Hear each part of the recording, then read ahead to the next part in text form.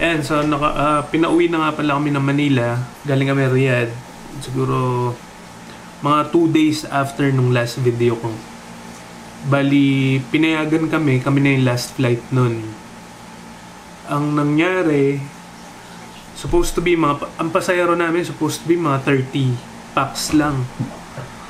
Pero napuno kami dahil yung mga passengers galing Manila hindi na pinapasok. Hindi na na-renew yung mga visa nila kasi may mga first timer doon at saka may mga for renewal. Tinanggap lang ng Saudi nun is mga resident visa. Sila lang yung napapasok. Tapos yung mga crew na galing Manila hindi na rin pinapasok. So sinabay na lahat. Tapos dito nga sa Manila pagdating namin ano na rin, lockdown na rin. So, eto, nasa bahay lang kami.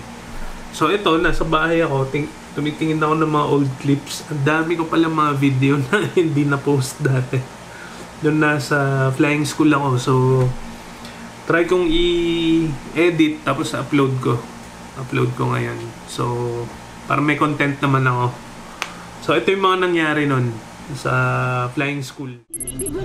Early morning, uh, 5.30 a.m. Papunta ng Bulacan, lilipad alas 7. 100% fine. Ah, mag-file lang ako ng flight plan. I think sarado pa yung ano eh. Sarado pa yung airport.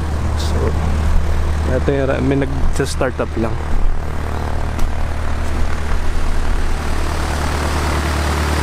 Sarado pa rin, ano sir?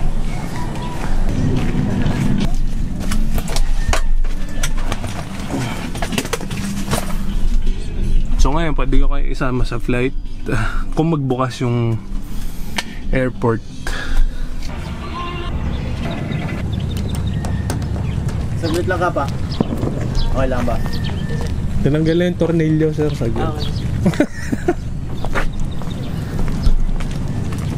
Boom mic ba yan?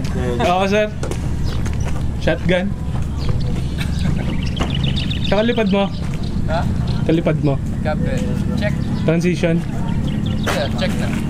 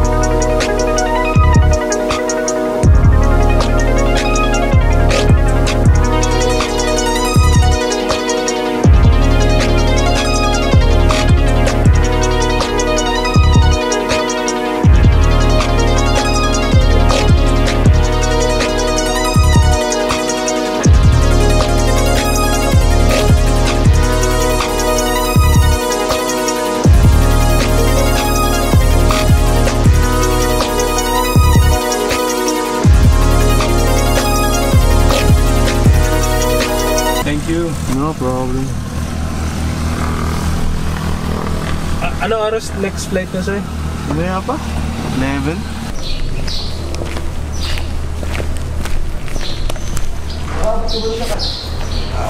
Sir, gawa lang ang billing, sir. Sige, sige. Or guide you how to do your free fight today. Okay? Sige, I'll see you there.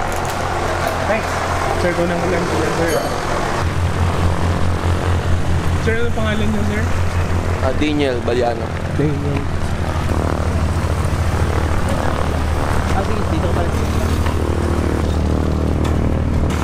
Registration, radio license, the operating handbook, including here, the weight and balance.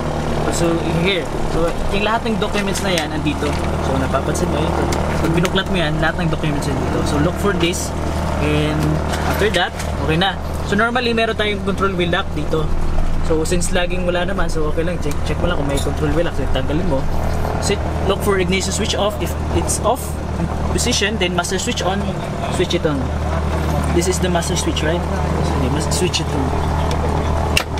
Okay, after switching on, look for the fuel. Okay, so may indication naman, right? It's full. And then, check for the beacon. Switch this on. Alright, tingnan Ito may beacon light. Hindi may ilaw. shot shot of mount. Okay, naka on position. Pag naka-off, nakataas siya. Pag naka-on, So after that, lights off, beacon off. Okay, nasa switch off. Check. May fume shot pa po. So after yan, punta tayo sa empinage over here. Then sa body. Damage, okay? Just check visually. Yan ang problema, di ba? Check also if it has safety wires. Good. Wala namang loose. From here, just check it. Walang loose. Walang sira. Okay. After that, here also. Good. Good. Walang loose. Okay? Check mo lang visually kung wala siyang sira. Walang damage or anything. Ah, tingnan mo yun lang. After empinage, rudder gas lock, remove kung may may dyan yung, yung ring natin, kung may tali, just in case, tanggalin. Okay, check naman. And then after that, dito sa right wing. Wing tight down. Hindi naman to. Kung may tali, wala naman di. Okay. It's good. Tapos check. Na may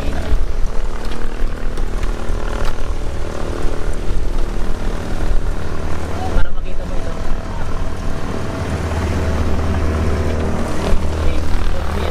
Dim lang natin. Okay, so ito, tapos check security enforcement. Good. Wala bang damage? Yeah, okay. After that, main wing tile. So, wing tile natin. Main wing. How to check? Check wing tile. Vision lang. Just right. Kaya ba top class? previous month. After that, dito tayo sa ah, fuel quantity check. So, so check natin. Check natin visually. Tingnan mo lang yan. Tuin mo. Wala bang tubig? May tubig? Parang may bulat. Ah, may tubig. Yung, yung yan, since yung tubig is, uh, water is uh, dense than the oil, so makikita mo na sa baba yung ano, yung tubig. Kung meron man, tapo natin. Check natin ulit. About now? Deep? Okay, deep naman. Nag-check ka na ba ng fuel before? Ah, sige. Ikaw na mag-try.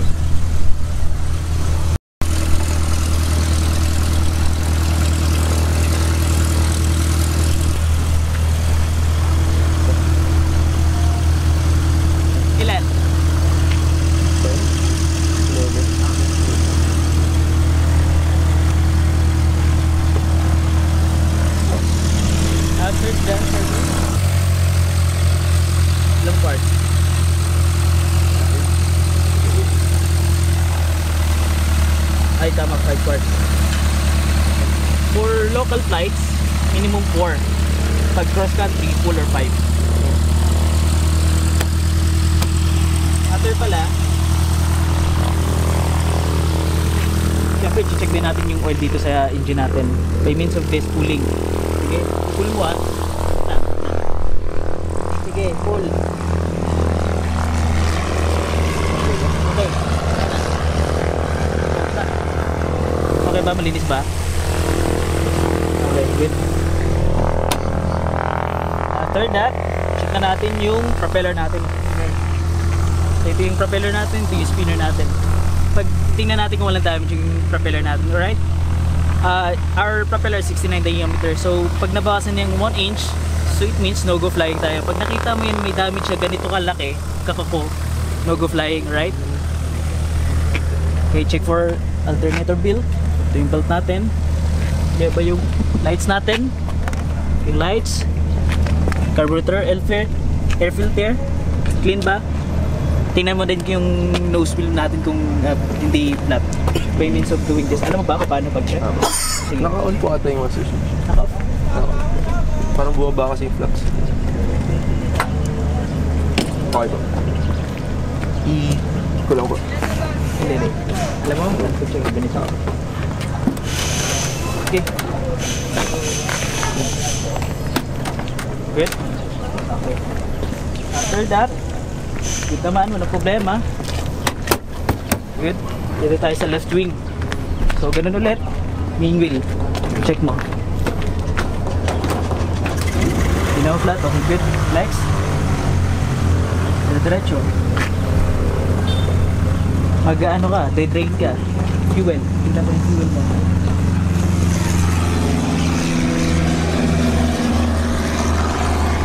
Clean mo. Okay. Good, clean. Clean. Okay, after that, check the fuel.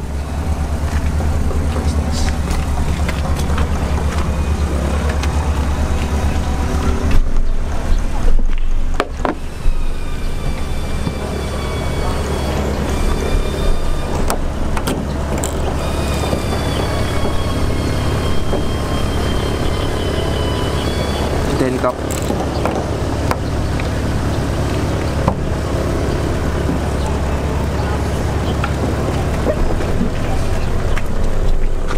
After, sa ano, sa left wing, P2 tube. Ito yung P2 tube natin. Ito saan nang pupasok yung hangin for indication for airspeed.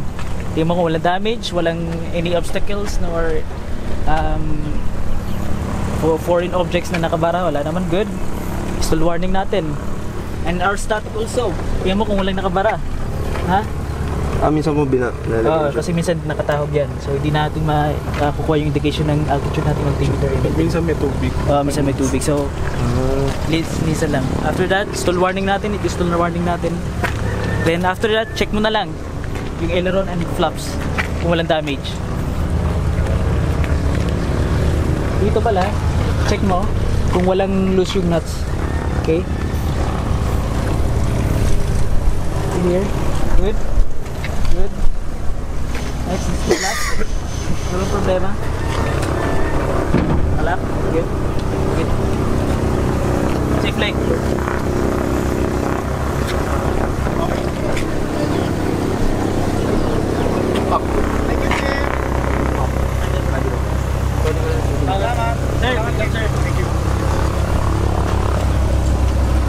Exciting.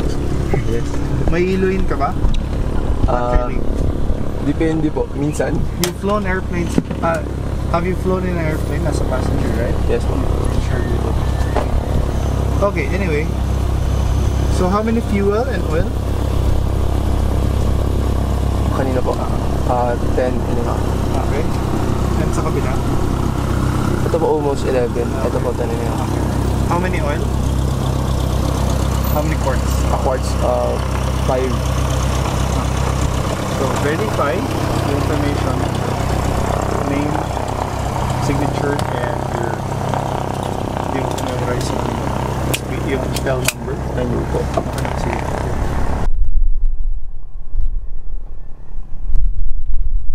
Okay. So since Okay. So you do the checklist.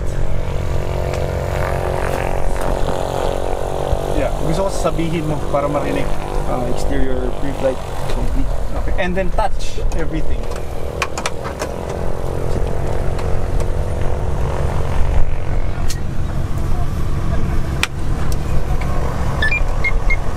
And seatbelt. You should reach your brake. Ito yung adjust, ito yung adjustment. Ah, ito po. Okay. Angat ko po. Ah, angat mo. Yeah. Brakes. Press and and set. Okay, sige. Apakan mo sa taas. Yeah. Press it. Press them. Okay, there you go. Ito po po yung max. Ito po. Yes. Yes. Okay. Um, test and set. Circuit. Circuit Breaker. Sorry. Lahat pati dito. Ito po map. Okay lang na ulit. Okay lang yan. Uh, all in before starting engine checks. Complete. Startup clearance. Okay. I'll I'll get your startup clearance for you. Tomorrow, I want or or kailan next flight? Magpa-schedule ka na ba? Tuloy-tuloy na ba ito? Baka Full time ka ba? tuloy-tuloy na po. Okay. Uh, get a small notebook. Yung pang-wetting. Listahan ng utang. Okay, ganun kaliit. Uh, get that and then so that you can write your information from the ground from ground control. This is your ground frequency 123 decimal 55. Today I'm going to get the ground clearance, startup clearance for you, for us. Okay?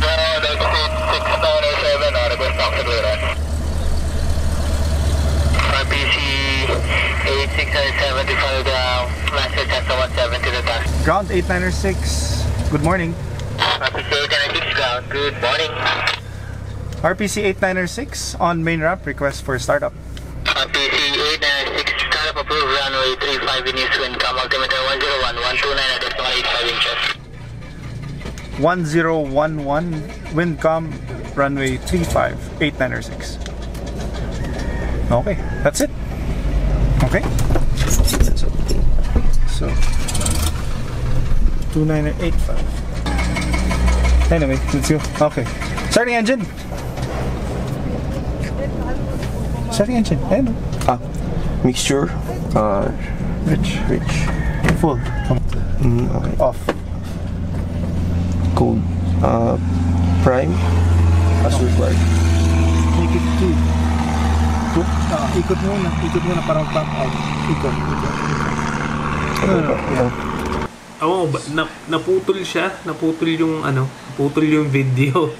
Hanggang doon lang siya. Yung checklist, pwede nyo ma-download. Yung checklist ng Cessna, pwede online makita nyo. Ah, i-type nyo lang sa Google, ah, PDF Cessna 152 o C152 tapos PDF. Tapos may kita nyo na doon ano, ah, yung checklist PDF C152. Yun. Yeah. Makikita nyo, Cessna 152 POH, tapos PDF. So, pag kinlik mo yun, nandun na, makikita mo yung checklist. Anyway, mahaba na yung video. So, uh, let me know kung ganito yung mga video na gusto nyo about flying. Uh, tatry ko pang humanap ng mga clips. Yun lang. Sige.